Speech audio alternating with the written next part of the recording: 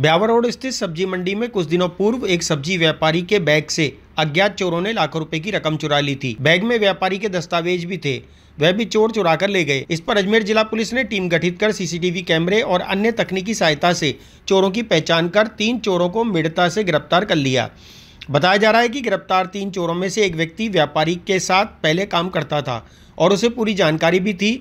Police एक अन्य फरार चोर की भी तलाश कर रही तेईस अप्रैल को धर्मा सिंह रावत ने रिपोर्ट करी थी कि मैं सब्ज़ी मंडी में आया था। मेरी गाड़ी में बैग था। बैग में चार लाख रुपए मेरे बही खाते, चेकबुक आधार कार्ड में अन्य डॉक्यूमेंट्स थे जो कोई अज्ञात व्यक्ति चुरा के ले गए। तो संदर्भ में थाने थाने पर प्रकरण दर्ज कर अनुसंधान किया गया।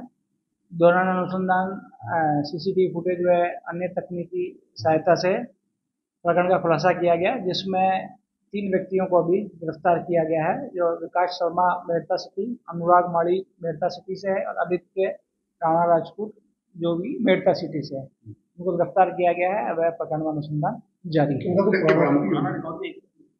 इनके पुराने रिकॉर्ड के संदर्भ में मेहता सिटी थाने से संपर्क किया जा रहा है। अगर कोई इनका रिकॉर्ड होगा तो प्राप्त शामिल बताओगे। किया जाएगा मकसद तो ये था कि इनमें से ये एक व्यक्ति इनके इसके पास पहले काम किया हुआ था तो उसको ऐसी जानकारी थी कि धर्मा सिंह रावत जब भी आता जाता है तो अपने गाड़ी में कुछ पैसे रखता है। तो ये यही मानते हुए उन्होंने चोरी की। नहीं अभी प्रकरण में कोई खास विशेष बरामदगी नहीं हुई। बरामदगी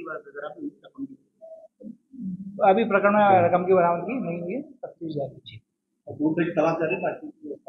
एक अभियुक्त का और नाम आ रहा है जिसकी भी तलाश की जाएगी। अच्छा सर फ़ोटो पेश करोगे क्या